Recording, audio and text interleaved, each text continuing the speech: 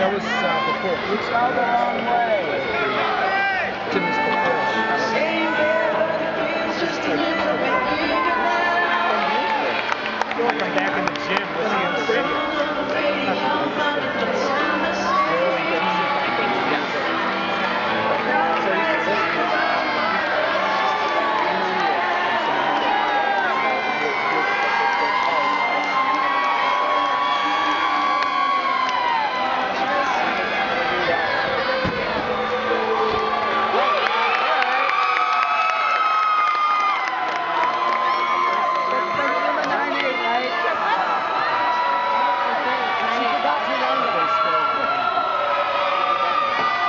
illegal entry.